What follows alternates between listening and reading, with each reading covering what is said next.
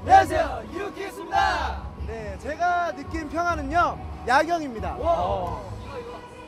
그쵸?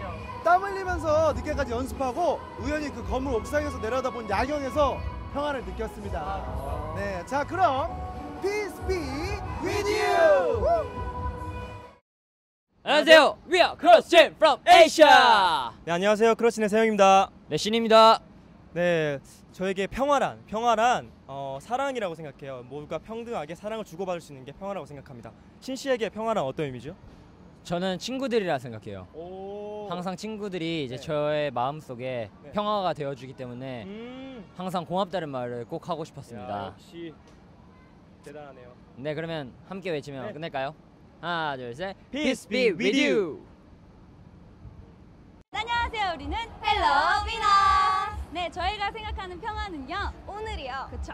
이렇게 매일매일이 평화이고 행복인 것 같아요. 오늘도 감사하게 아무 일 없이 이렇게 웃으면서 함께 할 수 있잖아요. 네, 그럼 다 같이 외쳐볼까요?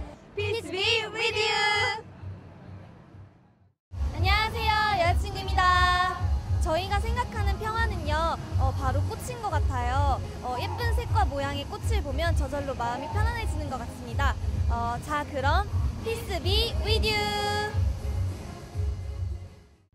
네, 안녕하세요. 준예일입니다. 제가 생각하는 평화는 파란 하늘인 것 같아요. 어, 맑고 파란 하늘을 보면 마음이 굉장히 평화로워져요.